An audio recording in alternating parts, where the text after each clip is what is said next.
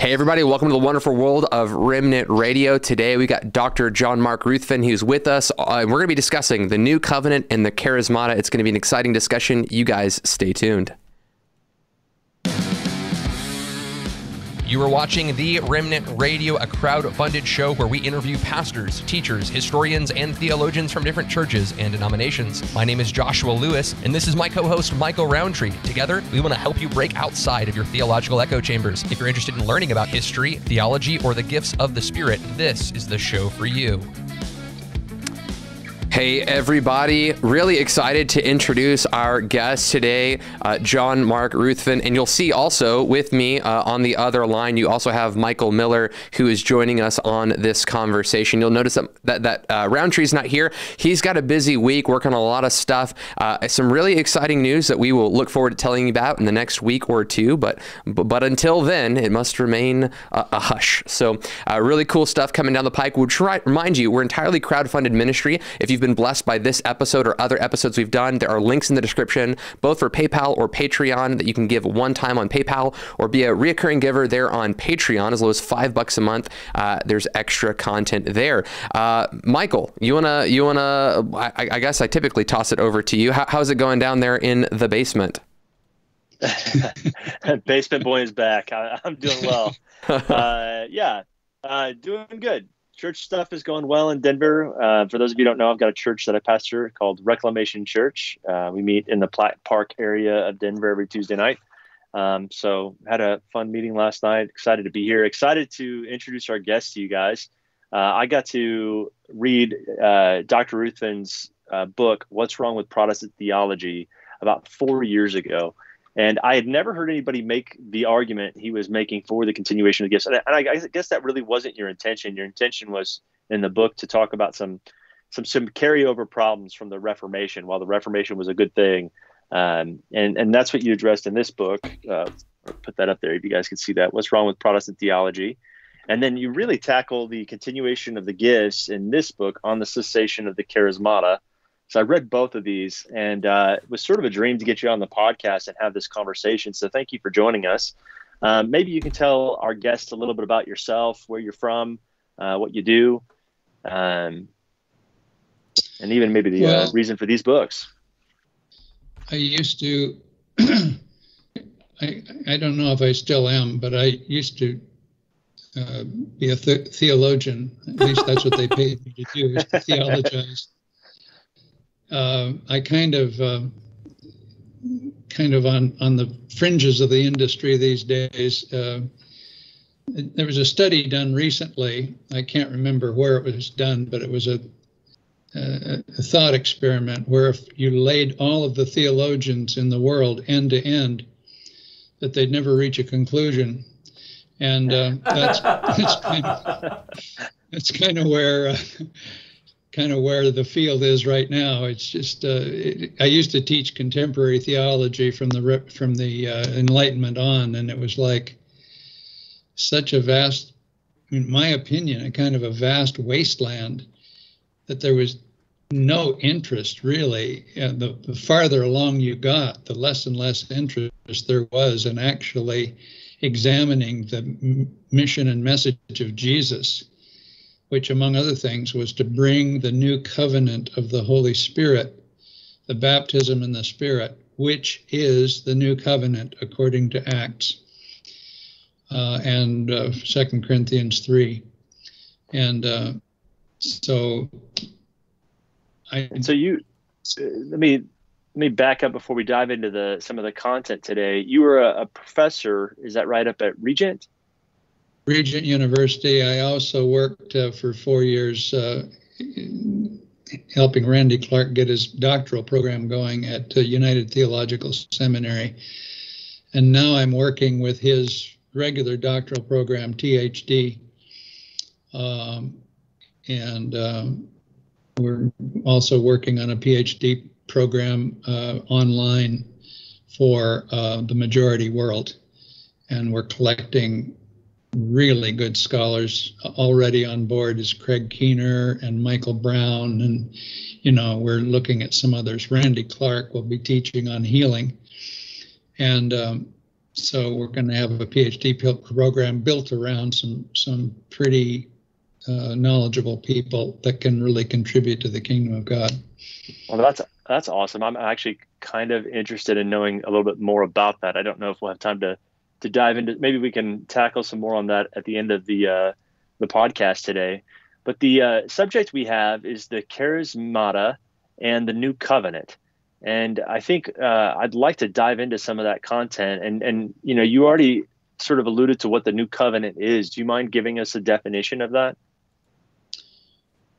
Well, um, yeah, the, the, the two key passages on the new covenant. Uh, well, the book of Hebrews for one thing, but also Second Corinthians three. And um, if, if you already know about the the um, the new covenant, it's uh, in Jeremiah 31, 31. You know, behold, the days are coming, says the Lord. I'll make a new covenant with the house of Israel and the house of Judah, not like the covenant which I made with their fathers, which was a, basically a book, a book of the law, and brought them out of Egypt and so on. They broke the covenant. But this is the covenant that I'll make with the house of Israel after those days, which is an eschatological kind of reference. I will put my law among them or within them. As Jesus said, the kingdom of God is among you or in you. Um, and I will write it upon their hearts. It seemed to be a direct revelation with the result that I will be their God and they'll be my people. And he contrasts this new covenant experience of having the Torah, the teaching, written in the heart. He contrasts that with no longer shall each man teach his neighbor and each his brother, saying, Know the Lord, for they'll all know me. How? By this direct communication into the heart. You see, so, what we're talking about here is it's a different way of knowing, a new kind of epistemology, not by education or indoctrination, but by revelation. And the Old Covenant is teaching by the scribes who were commissioned to teach the law of God. But now the New Covenant is direct, immediate revelation into the heart by God. And that's the difference. There was a doctoral dissertation done at uh, uh, a prominent cessationist seminary a few years ago where he did a great literature review of all the different positions on what the new covenant was. And then his conclusion was that the new covenant is New Testament rules that replaced or supplemented the Old Testament rules or law you know, I, I thought that was, you know, I think he really missed it. Um, I imagine for some people, what you're saying that can sound, uh, especially if you're Protestant, that can sound a little scary. Um, it, it, sounds as if, and maybe maybe there's a mis uh, something I'm misunderstanding in this. But if I was to hear that, I would think, does that mean that any person is just gonna be able to randomly yeah. come to the conclusion of the gospel without uh, without the gospel being preached. Or even um, worse, well, can someone have a revelation that's contrary to scripture, an, an extra biblical revelation that would contradict scripture if this is all by revelation? Well, remember what I just said is I read this out of scripture describing the new covenant. That's right. And if you, I mean, so it isn't contradicting scripture, it's fulfilling scripture. And uh, it is obeying scripture. Um, and this is what First Corinthians or Second Corinthians three is all about. When he talks about, um, you know, do we need letters of recommendation from you? Do we need diplomas, you know, to show that we're properly educated, the praise of men, whatever? He says, you are living proof of uh, our ministry, which is to be ministers of a new covenant. Hmm. That's our job, they're saying. Not in a written code like the teachers and the scribes, but in the Spirit. For the written code kills, but the Spirit gives life. You see, this is the new this is the new covenant that they're talking about here. And um, so um, he says that today in the synagogue, the Jews read the scriptures with a veil over their minds. But when a man turns to the Lord, that veil is removed. Now they're talking about reading scripture here. You see? And Paul is contrasting that with the experience of the teaching spirit. Now, the Lord is the Spirit, and where the Spirit of the Lord is, there's freedom. And um, we all, with an unveiled face, beholding the glory of the Lord in this relationship of the Spirit, being changed into his likeness from one degree of glory to another. This comes from the Lord Jesus, who is the Spirit. It's not very Trinitarian, but you know that's what he says. and uh, and I mean it matches what you get in John, you know, uh, 14 other places. I'll send you another comforter. And then a few verses later, he says, I will come to you. I'll send you the Spirit baptize you in the Spirit. I will be with you to the end of the age. Which is it? Well, it's both. You see?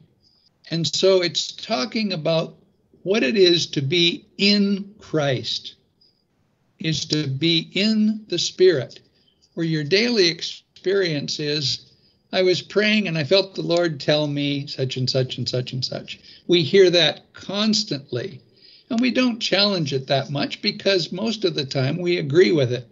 Does this mean you can get false revelations or crazy ideas or whatever you're thinking about?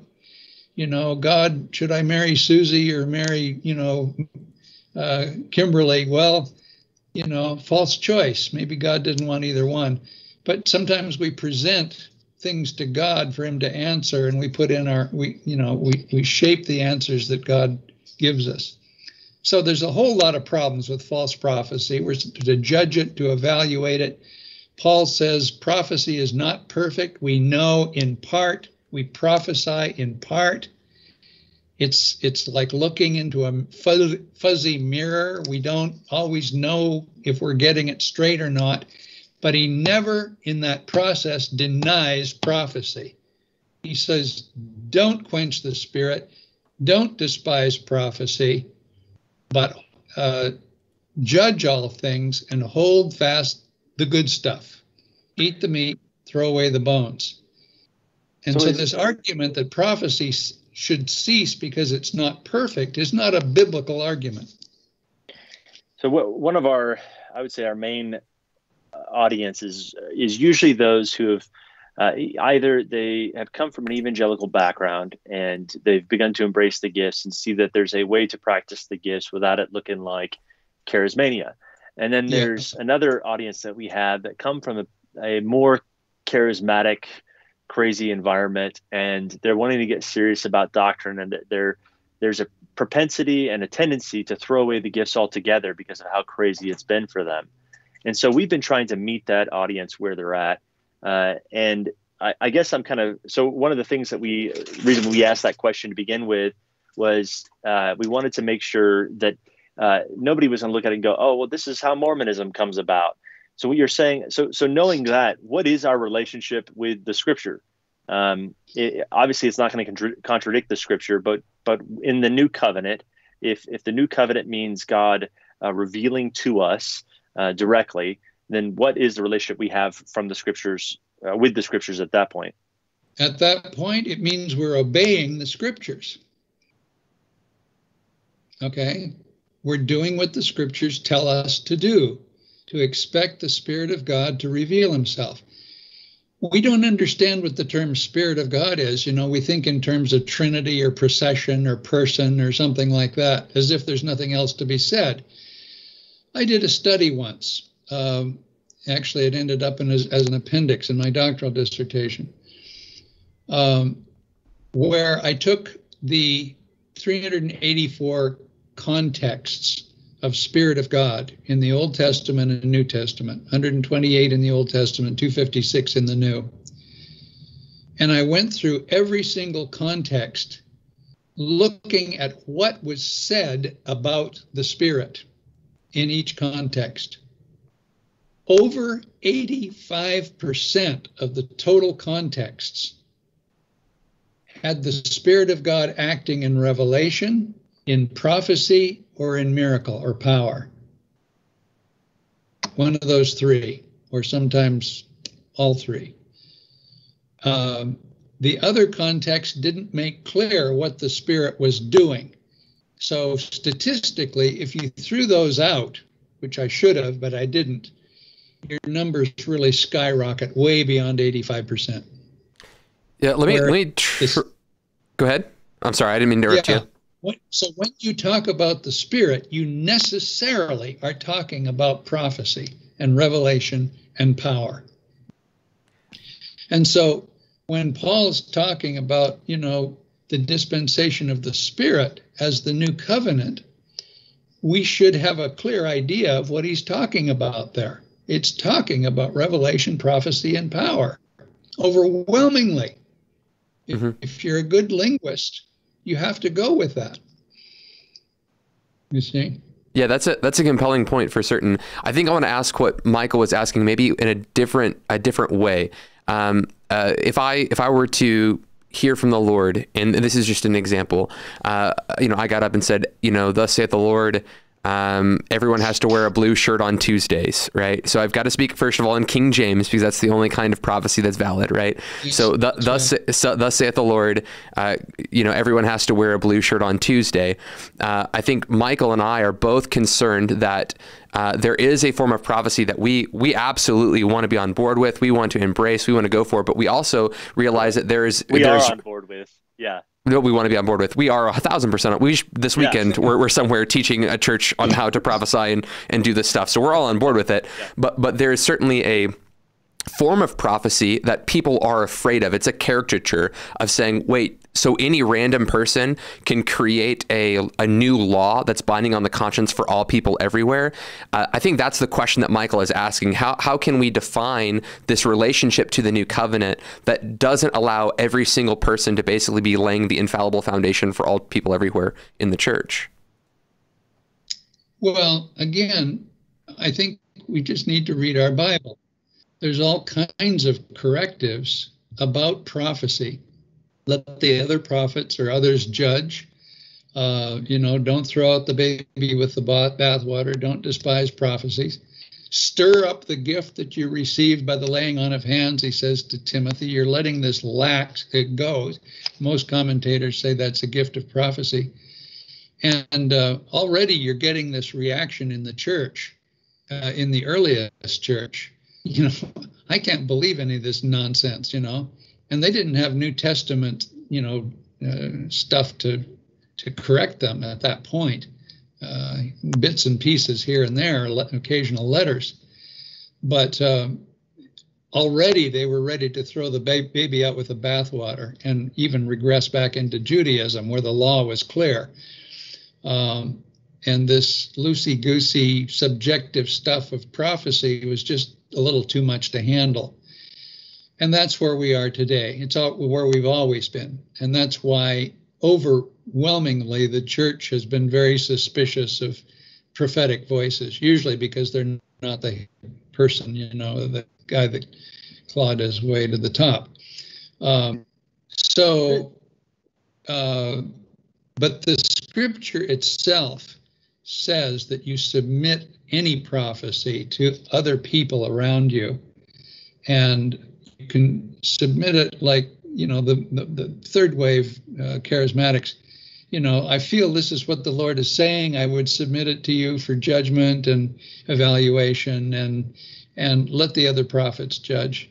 I don't make any major decisions without checking with some of my prophetic friends. Would you pray about this? Would you make this clear? and very often if i uh, ask them is it this or this they say it's really not the it's really not the main thing here it's something else and and I try. Yeah. So the scripture itself is available and and commands us to judge the blue shirt prophecies. You know, and you know it isn't all subjective. Like t- um, Italian Pentecostal church, they were telling me about all King James English, of course, which made the argument pretty hard you know, to say that they weren't adding to scripture when they framed it in King James English. I mean, come on. I mean, that made yeah. them a fat, juicy target to their Baptist friends. But this guy gets up and he says, Thus saith the Lord thy God. And he goes on this wild prophecy. And and uh, the, the pastor says, Well, I, I don't know if that was really the Lord from the pulpit. And the guy prophet jumps up again. He says, Thus saith the Lord thy God. That was to me, saith the Lord thy God. so, if it's if it's all left to subjective, uh, you know, the prophet themselves, no, of course it's crazy. But there are there are uh, correctives in the scripture itself for that kind of thing. So, and we, are seeing a, we a, a reaction, I'd say, to um, bad prophecy, but a lot of this kind of it goes back further than the modern era and the Pentecostal tradition. And in response to that, it this is going back to the Protestant Reformation. Um, to to make the case, well, and and I I think you're right. I'm not disagreeing with it, but to make the case that the new covenant is uh, the spirit of prophecy. That that is the new norm for the people of God to have the spirit of prophecy is in some sense also to make the case that those who are cessationist uh, are verbally denying the new covenant reality while experientially living with it. Um, yes, yes. Yeah, I, I think they, of like uh, the guys we've had on the podcast in the past who who tell the stories of of feeling like God has prompted them to do X, Y, and Z, but they would never right. call it prophecy.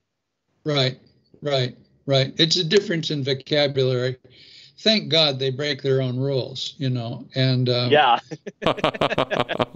you know, it's like it's like Muslims, you know. You, uh, uh, thank God they don't follow their own Quran, you know. Kill the infidel wherever you may find him, that kind of thing. Don't make friends with infidels, whatever. I hope I'm not being too offensive here, but you know, they're nice people because they violate their own doctrines. Um, so. I, I want to take this back to the Reformation, uh, just because you mentioned the Westminster Confession offline before we started the podcast, and specifically where that might have misled us, um, and, and the Reformation where it might have misled us in how it improperly defines the new covenant, and then therefore sort of sets us up for a wrong expectation to what it looks like to be the people of God. Um, can you go back to that and, and elaborate some on that? Yeah, well, Calvin was more into the New Covenant, but um, there's not a lot of talk about exactly what it is. You, you know, they talk about the importance of it. They talk about Jesus mediating it and how that's why he died on the cross was to bring us a new covenant. But very often the new covenant is squeezed into Protestant concepts of salvation and you're in the new covenant if you're regenerated and and you know go to heaven when you die. Uh, but that's not what the scripture explicitly says it is. Um, if you'll permit me to read what the punchline yeah, of the book of acts is. Um, and this was what I had written on in the uh, appendix four in the cessa- in the new cessation version. Um, uh, it says uh, basically, I argue that that the Pentecost narrative uh, is a fulfillment of Isaiah 59, 19, 20, and 21, with a lot of references to the next five verses in that context. And um, I argue that that uh, when Luke introduces it, the title of the Pentecost narrative is When the Day or the Holiday of Pentecost Was Fulfilled. If you look at the original Greek there, that's what it says.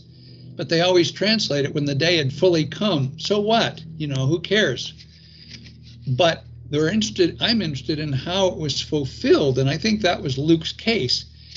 And Luke basically is paraphrasing um, Isaiah 59, 19, 20, and 21. And I'll read that. It says, So they shall fear the name of the Lord from the west and his glory from the rising of the sun. They're fearing his glory from this universal picture of people from all over will fear the name of the Lord and fear his glory. Why? For he will come like a mighty rushing stream, which the wind or the spirit of the Lord drives. Now that's translated in the King James Version. Uh, it's so bad, it's not even wrong as a translation. It said, When the enemy comes like a flood, I will raise up a standard against him. Not even close to the Hebrew. Uh, but that's what this is really saying. For he'll come like a mighty rushing stream or, or torrent, which the wind or the spirit of the Lord drives. Well, that's the Pentecost noise, you know, mighty rushing wind. And he will come to Zion as a redeemer. You remember Jesus said, tarry in Jerusalem, tarry in the city, makes a big deal out of that. As redeemer to those in Jacob, the Jews, who will who, who turn from transgression or repent, says the Lord. Now here's the covenant. Here's where we ought to pick up prick up our ears. And this is what Peter is quoting when they say, Brethren, what shall we do? Peter says, Repent and be baptized. And that's where Protestants put the period. Okay? But he goes on to say, And then you'll receive the gift of the Holy Spirit, which is what you're seeing here. For, and that little gar there in Greek introduces a proof text. I finally came to that conclusion. For this promise, covenant, is for you, your children, and those who are afar off. And since you can demonstrate clearly that there's intertextuality between this uh, Isaiah passage and the Pentecost narrative all the way through the themes of fear and glory and and um, uh, Redeemer, Zion, repentance, you know, on and on and on. He comes to the conclusion, and here's here's what he's citing in typical rabbinic shortened form, where they condense a longer passage down into a short passage, like we'd say Watergate or 9 11, you know, for a larger picture of a story. As for me, this is my covenant with them, what was Pentecost? It was the celebration of the covenant. And what was offered at the first covenant? The voice of God, which they rejected. No, no, Moses, you speak to us, lest he speak to us and we die. We can't handle that voice stuff. So they got a book. Okay? And but now they're in a situation where the covenant is being offered again and so it's being explained as to what that covenant really was in the beginning. This is my covenant with them, says the Lord. What is that? Prick up your ears. My spirit, which is upon you, singular, Jesus. This Jesus whom you crucified, God has exalted and made Lord in Christ and is pouring out that which you see and hear. And my words, prophetic words, which I have put in your mouth, shall not depart out of your mouth, nor out of the mouth of your children, or out of the mouth of your children's children, says the Lord, from this time forth and forevermore. That doesn't sound very cessationist to me. Okay? That is the new covenant that Peter was quoting as the punchline to the Pentecost address. And that's why I believe that when Jesus is introduced in the Gospels, all four Gospels, two or three witnesses are required to establish something. There's four Gospels, they really establish it.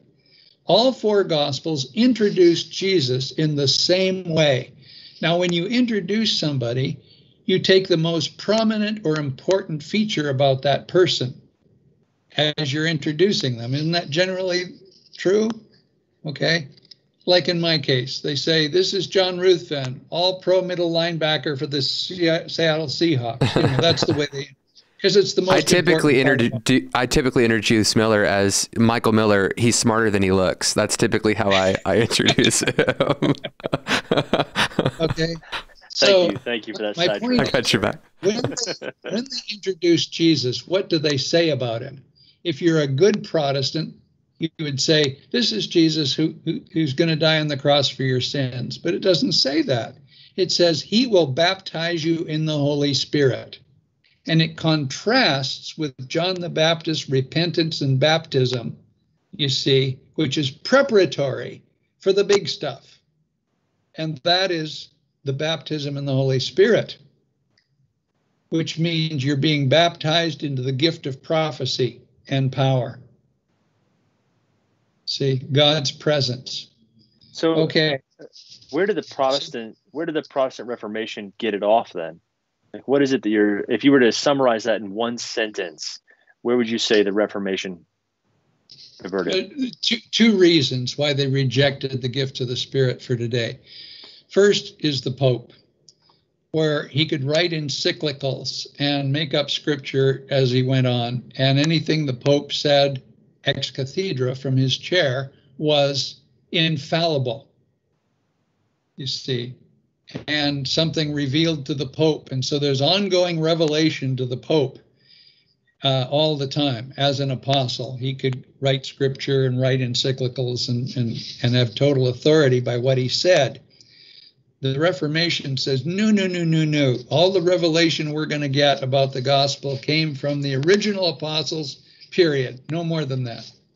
That's one source, the Catholics.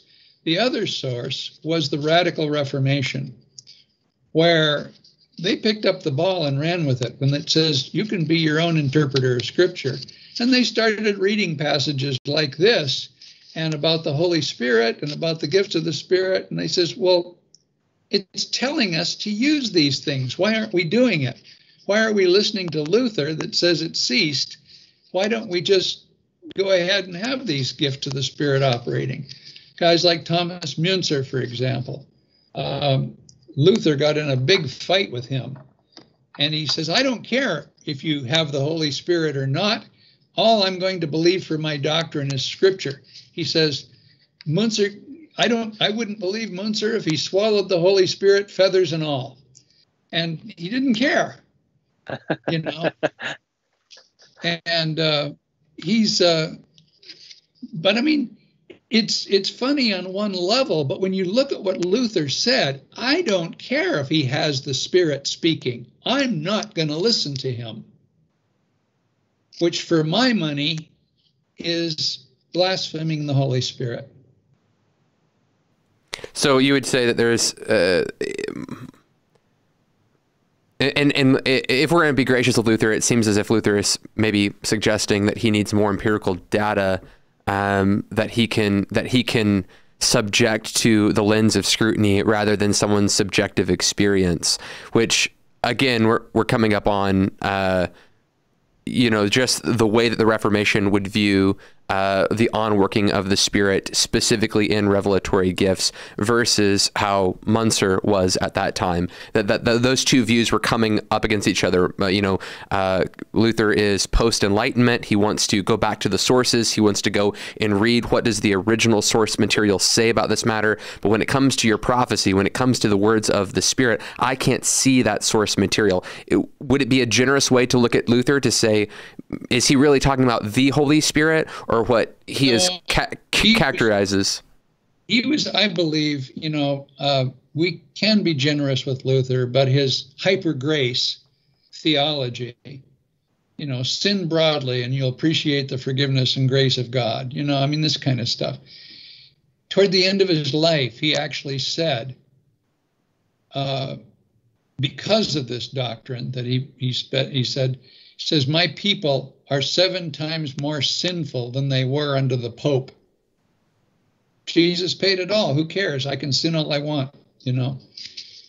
Uh, Luther wasn't infallible. As a matter of fact, his position about spiritual gifts, and I'm trying to quote him here, he said, all these people with their fevered dreams and all their prophecies and all their, you know, carrying on, he says, uh, they don't pay attention to I or St. Paul. Notice the order. Um, he really felt that he had a better handle on, I think, theology than even Paul. And you know, Luther was not exactly a shrinking violet. He had he had an ego the size of a barn, and um, uh, you know, to be to be you know fair, he had tremendous insights. In some ways, he did wonderful exegetical work, um, but he also was very threatened by the charismatics in the in the in the Counter Reformation, and he signed off on on the extermination of the peasant revolt, where a hundred thousand, mostly counter uh, radical Reformation people, charismatics, were killed. So when you say he signed and, off on that, I mean, I, I, I remember I've I've read some of Luther's work saying that he he didn't care for the peasant wars and made certain statements that looked like he endorsed it, but but there are statements written that he he condemns the peasant wars. And maybe I'm getting this wrong, and I'll, I'll kind of you know defer to your scholarship on the matter. Um, but also, when you talk about charismatics of that day, are, are you speaking of the Anabaptists that he was writing in in in contrast to when you speak to the charismatics of his day? They were they were some of them, yes. Yeah, they weren't. It was a very diverse group, and it split, you know, exponentially uh, into different groups, and it's hard to know who he's addressing in some cases.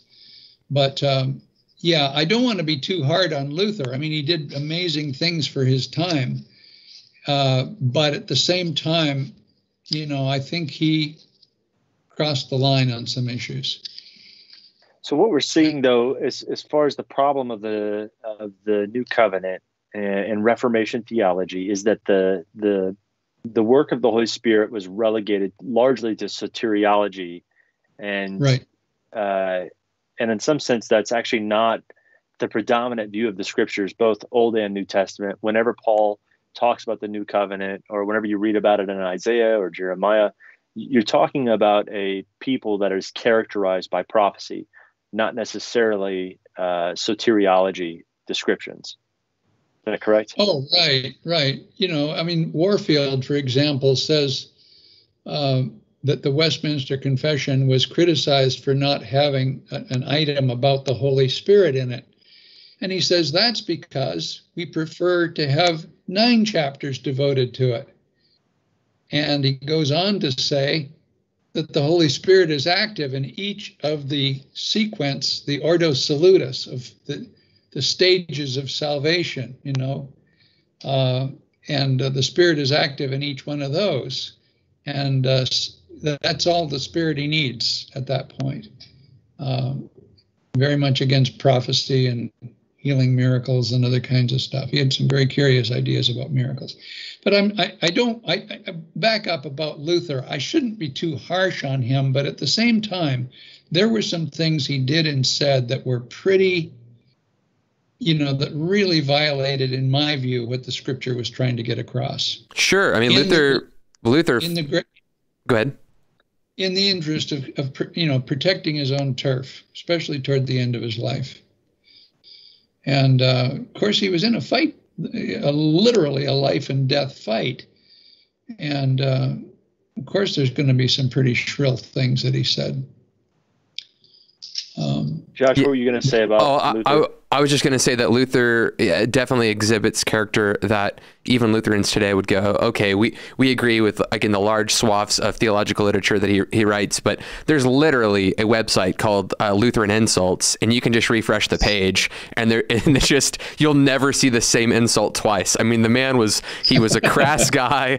Uh, you know, he he didn't mind using uh, rhetoric uh, that would that would have put many of us to shame and cause us to blush. Uh, he was anti-Semitic yes. towards the end of his life. I mean, Luther was a man of faults, like any many of us are for sure, and maybe him more than others. I, don't mean to, to, to brush under that. So so I would agree with you. He's he's definitely a product of his time. Um, I when I want to hear the statements of Luther, I'm always trying to contrast it with who is he talking to and what is he talking about. So like even with your statements about prophecy, I'm like, man, I want to I'm gonna go see where that source material is so that I can see what who was he talking to that when they were talking about all these visions because there were some wacky Anabaptists that lived around that oh, time. Oh, absolutely. That had absolutely. that I would probably willingly condemn with the same kind of language. Yeah. So yeah. But he made he made he made the Thessalonian mistake of throwing the baby out with the bathwater. Certainly. You know. And uh, but that was the despising other prophecy. Reason. Yeah. Yeah. But um, anyway, um, again, if I was in the same situation, I don't know if I would have handled it any differently, you know. But he was, uh, you know, his life was always on the line. Things were very tough. And then he had to deal with this radical reformation. Radical in the sense of going back to the root, as they saw it, back to, you know, Christian experience, even to the point where they had the inner light. And because the Bible was written by men, they didn't want to have the Bible even. I mean, some of them were that radical. Let me let me ask you this question. I have a question from our audience. This question is from Jim. I apologize that I'm looking so far over. That's where my screen's at today. Uh, Jim says, if the old covenant uh, is the letter and the new covenant is direct revelation, then why look to the scriptures in the new covenant? Um, I, I think that he is just contrasting what we would call the Old Testament, New Testament. We have all these New Testament letters. If the New Covenant is divine revelation, then why do we need a book that we circulate? Um, and, and, maybe we're conflating and confusing terms, uh, but I'd love for you to help clear that up if you if you wouldn't mind. Right. Well, the Old Testament scriptures themselves are loaded with prophetic experiences.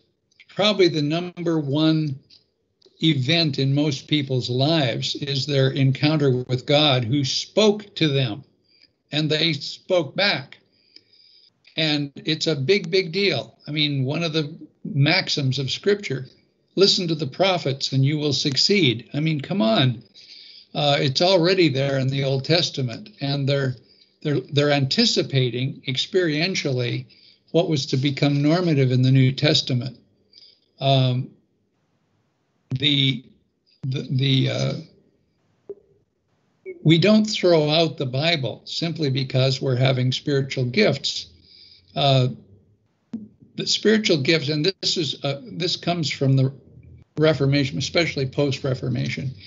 If you have a prophecy, it necessarily, if it's from God, it necessarily has to be perfect, and it necessarily has to add scripture. Say the same thing about a miracle. You know, if Aunt Clara gets healed of psoriasis, you immediately have to rush out and add a chapter to the book of Jude. I mean, it's it's there's an absurdity to that. Uh, miracles and prophecies don't prove or add to Scripture. Uh, they simply obey Scripture if they're done right. And uh, with the scripture being fully aware of the problem of false prophets, certainly in the Old Testament and the New Testament. So, establishing the canon of scripture as the source and solid ground of our doctrine, of our understanding of God, uh, and understanding of spiritual gifts. Scripture is indispensable, okay? But the formation of Scripture by revelation from God is a separate issue of the gifts of prophecy and revelation later on that are described in this revealed document. But the formation of the canon is something I believe God superintended and uh, that He guarded. And for my money, you know, I believe in inerrancy of Scripture. I'm very, very conservative about Scripture. But modern prophecies do not add to Scripture, they obey Scripture. That's it. That's... I think that's probably the second or another issue about the Reformation is those two things got conflated. The idea of prophecy being the same thing as Scripture. Uh, right. Those two things. Because the Pope prophesied and added to to the canon, basically. And so that's the mistake Protestants have been trying to avoid ever since. Um, uh, well, the mistake of the Pope. Um, and, and then by doing so, they fell into another mistake by equating prophecy and scripture. Yeah, so maybe we could speak yeah. on this. Uh, I, I, know we only have like seven more minutes left in this program uh, as we have an hour long program. One of the things I'd love for us to touch on, as you're talking about prophecy and the new covenant, and the new covenant is like this mediated revelation from the Spirit, an interesting concept, but it, but it causes me to draw my attention to the to the old covenant and the way that God would speak prophetically in the Old Covenant.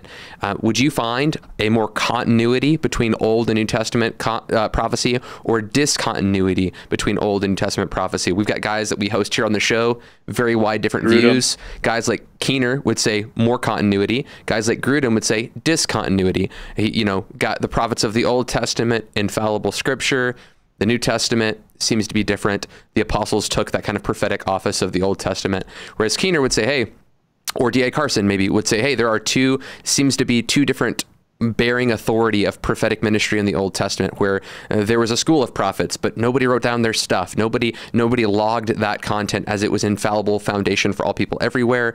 Uh, and you know, the New Testament stuff seems to go on that same measure. You've got a revelation from John, scripture, prophecy, but then you have a different kind of revelation that took place in local churches. So, so would you find more of a continuity or discontinuity between Old Testament and New Testament prophecy uh, in, in light of this discussion on New Covenant? Yeah, I would, I would say uh, that um, Paul actually picks up on Moses Joshua, and the 70 elders are, prophes- are prophesying. And Joshua, you know, says, Should I tell him to shut up and stop? I mean, you're the only prophet, and, you know, you're the only one we should listen to, and you're writing the Bible. I don't know if he knew that at the time, but, uh, you know, and Moses' response was generosity and, and the ideal. He says, I wish all Israel were prophets. And, and, you get an echo of that in 1 Corinthians 14. I wish you all spoke with tongues, but rather that you prophesied, you see. And there's Moses' echo coming out there, I think, because prophecy was the normative experience of the Christian. You know, and it isn't prophecy for prophecy's sake, it's prophecy to draw us into intimacy with God, that I will be their God and they will be my people. That's the goal of the new covenant. You see, uh, identity and intimacy is the number one thing that you run into when Adam is being instructed.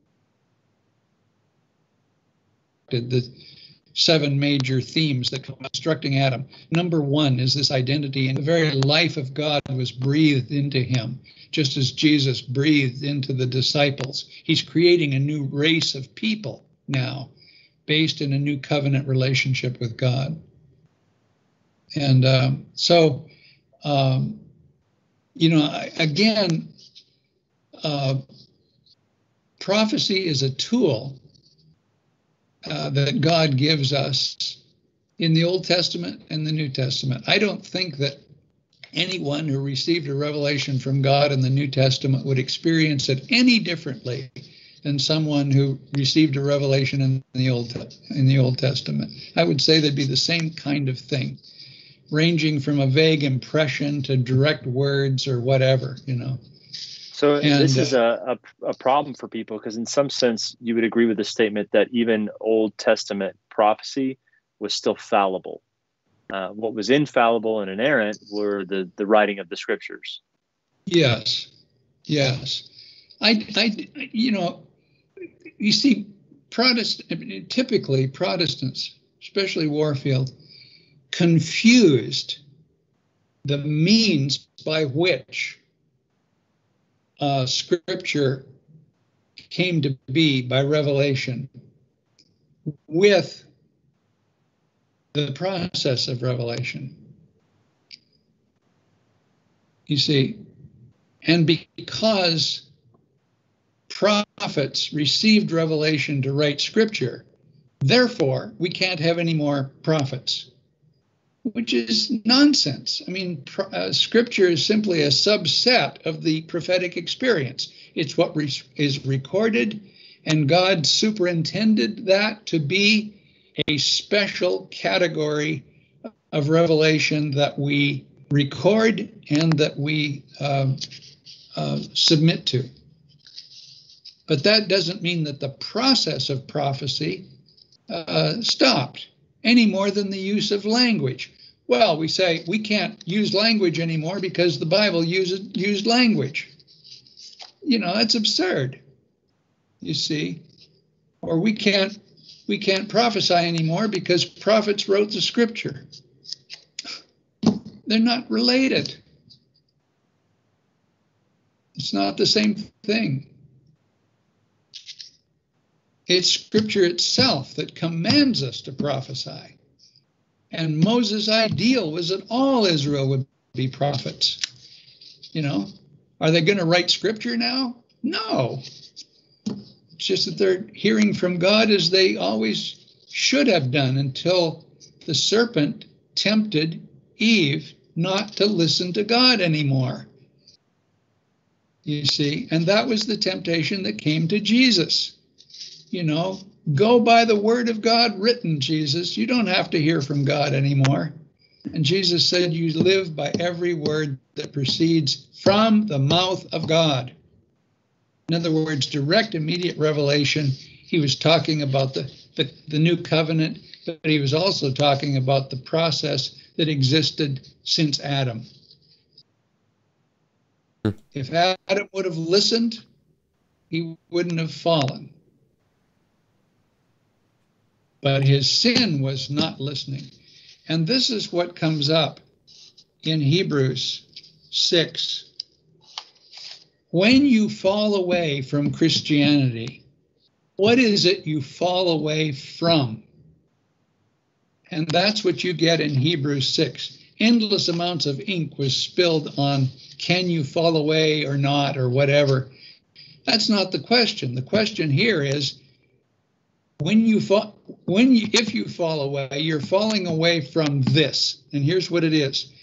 It's impossible to restore again to repentance those who and there's five different ways of god speaking to you that gets violated. It's really one thing. It says who have once been enlightened. How? By revelation right? Who have tasted the heavenly gift which is what revelation and prophecy, who have become partakers of the Holy Spirit. Remember, revelation, prophecy, and power? And have tasted of the goodness of the Word of God. We always think of the Word as being Scripture. Scripture itself points to the Word usually as being prophetic revelation. And five, the powers of the age to come five different ways of God revealing himself. And he says, if they then commit apostasy, since they crucify the Son of God on their own account and hold him up to a, a contempt. What's that got? What is denying these charismatic experiences got to do with Jesus being crucified again? Because the crucifixion was the mediation of the new covenant of these five things we're talking about. Amen. And that if you violate that co- covenant, Jesus is going to have to die on the cross again to renew the covenant. And that ain't going to happen. Hmm. See, the same argument is made in 1 Corinthians 11 by Paul. If you don't you know, if you take, partake unworthily of the body and blood of Jesus and don't discern the body, he's not talking about a wafer or a piece of bread with theological significance. He's talking about the body of Christ. By one body are you baptized into one spirit, uh, by one spirit into one body. And they were shunning charismatically gifted people and thereby breaking the covenant of the Spirit. That's why Paul says, Many of you are weak and sick and have fallen asleep. Why would he say that about breaking a covenant? Because that is the Deuteronomy 28 penalty for breaking the covenant. You get sick, weak, you die. See, Interesting. I mean, it's serious. It's serious stuff.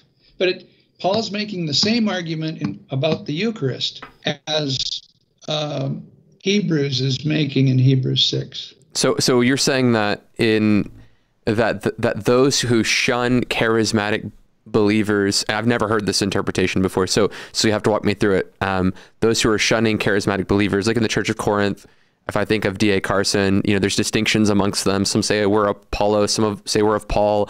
There's distinctions also on, on the, the, the rich and the poor, uh, the way they take communion. There's distinctions on who's got the more supernatural gifts. You know, is it those who speak in tongues? Those seem to be more. So you're saying that there's distinctions specifically on the distinction of, of those who might say, I have a, a leadership gift and a mercy gift, and they say, I have tongues. And like, we don't need tongues you're saying that that that is breaking the covenant for a, one believer to say to another, "I have no need well, of you." The, no, the context was the so-called love feasts, you know, where they bring potluck and whatnot, apparently, and some of the poor drunk. people had nothing.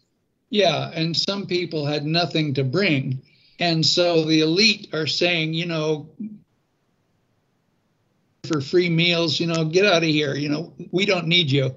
And so the body of Christ was being broken up mm-hmm. by not recognizing them as being members in the new covenant, members of the body of Christ. And that's why I needed the clarification. They, yeah, they didn't discern that body. Yeah. I think I lost you. Um, that's I, why I, they broke. Yeah. I lost I lost your internet connection. So you said they didn't discern the body. Say that one more time. Well, they didn't discern the body, and that's why uh, Paul is saying basically you're crucifying Christ all over again. You know, you're you're forcing him to renew the covenant, which he never should be doing. You broke it, you're going to pay for it, and uh, that's why you're weak and sick, and you're going to die because you didn't discern the body. Okay. Jesus in the wafer, but the body of Christ that you broke up. That's what he's upset about.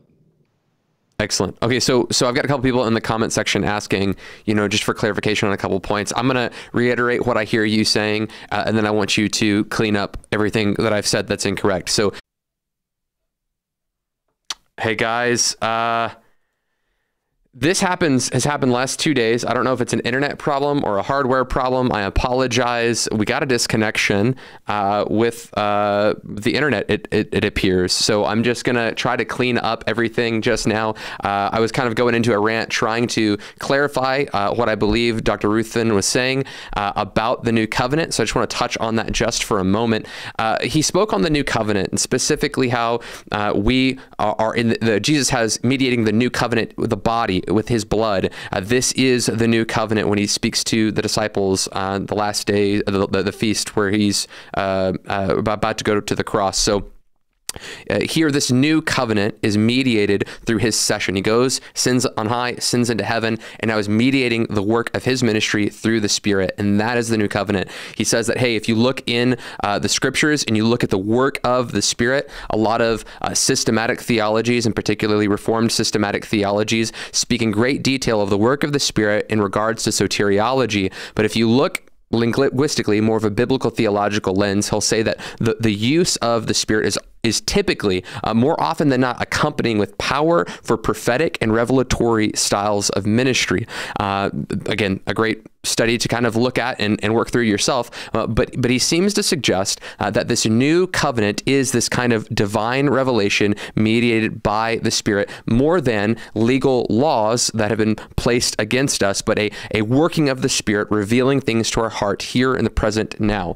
Uh, I'm not seeing Miller and or uh, Dr. Ruthven coming back into the chat. So I feel bad, uh, but I am probably going to wrap this episode up. So, guys, thank you so much for tuning into this episode of Remnant Radio. Uh, I want to thank Dr. Ruthven for spending some time with us. I want to remind you guys of a conference that we do have coming up. The Pursuit Conference is October 4th through the 6th. You can register at the website there, pursuitconference.org. It's just, I think it's in like a week from now. Uh, it's, it's very, very soon. Maybe it's even further from that, but like a week and, week and some change. Uh, it's going to be an awesome conference. We're going down to Woods Edge. It's primarily a pastor's conference. Now, if you're not a pastor and you want to go, you're absolutely welcome to come. Uh, but this conference specifically, what we're trying to tackle is how to train pastors to train their church in the gifts of the Spirit. So if that's something that you're interested in doing, you can register there at pursuitconference.org. Uh, again, anyone can register. We're taking taking registration from anyone, uh, but you'll see right there Sam Storms. Matt Chandler and Jack Deere are going to be the main speakers. Uh, Michael Rowntree and Michael Miller will be doing prophetic ministry uh, during that time. Uh, and, and I will be hosting a, a roundtable discussion between Jack, Matt, and Sam, uh, and also Michael Miller. Uh, we're going to be talking about the gifts of the Spirit and how to train our churches in those gifts. So, uh, guys, again, I apologize. This is the second time this has happened. I'm going to find out if this is a hardware or software issue and won't happen again. but, guys, I hope this has been a blessing to you. if you would, go ahead and hit the subscribe subscribe button, like the videos. We're coming out with content just like this every week. Fortunately, we were coming to the end of our program and we were going to have to wrap up either way. Uh, blessings, guys. Thank you so much for tuning in. And we will see you next Monday uh, as we discuss a, a, new book on prophecy, the power, purpose, uh, and I think it's power, purpose, and plan of prophecy in the New Testament. It's going to be an exciting episode. We'll see you then. Blessings.